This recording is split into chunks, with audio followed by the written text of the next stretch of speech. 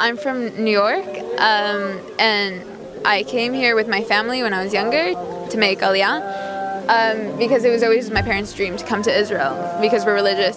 İsrail'e göç eden Yahudi sayısı son 23 yılın en yüksek rakamına ulaştı. Sene başından bu yana 95 ülkeden 70 bin Yahudi göç etti. Ülkeye en fazla göç 37.363 kişiyle Rusya'dan gerçekleşirken ikinci olarak 14.680 kişiyle Ukrayna olduğu ortaya çıktı.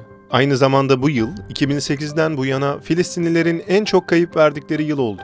İsrailli yetkililer Ukrayna-Rusya savaşının başlamasından bu yana Yahudilere sık sık İsrail'e göç etmelerini söylüyordu. Bunun için de İsrail hükümeti koordinasyonunda çalışan Yahudi Ajansı Aliye Ekspresi adlı bir program hazırladı.